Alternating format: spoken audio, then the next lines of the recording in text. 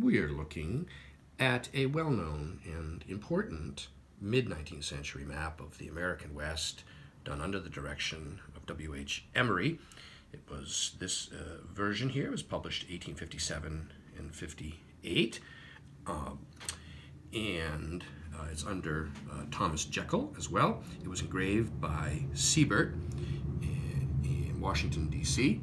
It is uh, engraved and then transferred to lithographic uh, stone, and it's uh, well documented in cartobibliographies.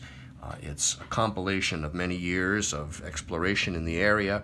It's well known for all of the unexplored territories that are still uh, charted with accuracy here. Uh, what we'll do is we will now just take this chart, set it off to the side like so, and just do a quick little uh, cartobibliographic uh, background information uh, research on it. We've got James Martin's, uh, well, Martin and Martin, well known book on the printed maps of Texas.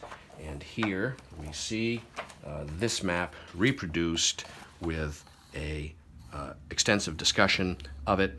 Uh, interestingly, this reference to wheat uh, is not the one that we're going to find, so I'm not sure if that's just a typographical error. we also notice that this uh, source for this map is in Raines, Bibliography of Texas here. And we see Emory, uh, here we are. This is the report that this map originally uh, appeared within.